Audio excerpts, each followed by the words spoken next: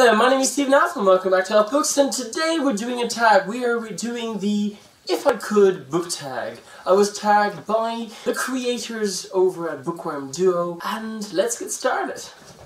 If I could change any book cover, which cover will I change? For this, I chose Aldous Huxley's Brave New World. I just don't like this cover. And for those who remember, who've been following my channel for a while, or who've looked back to my older videos, I actually already mentioned this. In the Booktubeathon last year, I, in one of the videos, mentioned this book and I redesigned the cover. So I actually have a different design for this book. I thought this design would look better and it would be more related to the book than the one that was on it. Let me know what you think. I'm not the best artist, so I kept it really simple.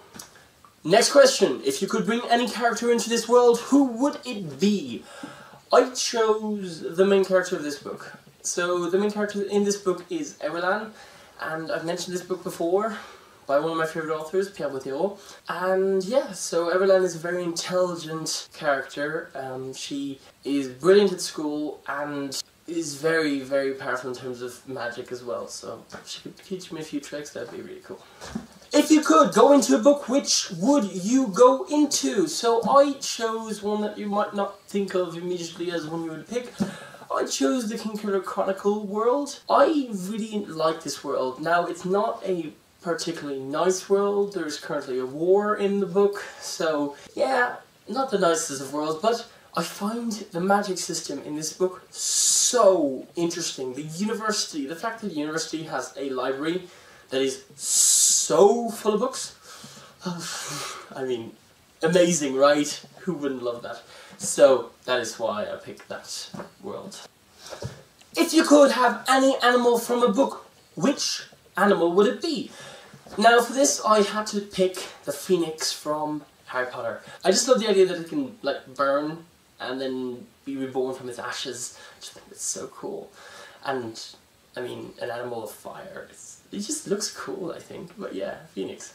If you could kill any character from any book, who would you choose? So for this, I went back to the Kingkiller Chronicle and I decided, you know there's this character in this book who's very annoying and he really isn't liked by the main character and he doesn't like the main character and his name is Ambrose. And yeah, I don't have to say more. If you've read the first book or this book, you'll know what I'm talking about.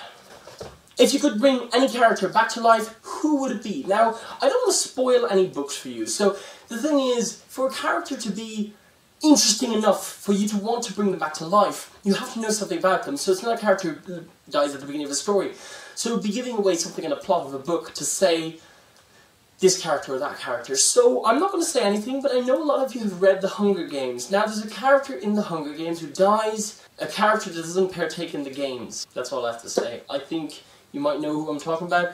I don't want to say the name just because it would spoil the last book, so I won't say anything, but yeah, that character. if I could have any author write me as a character, who would I choose? I would love to see two of my favourite authors work together on this because I I don't know, I just want to see what it turns out as. So I'm going to pick Garth Nix and Patrick Rothfuss.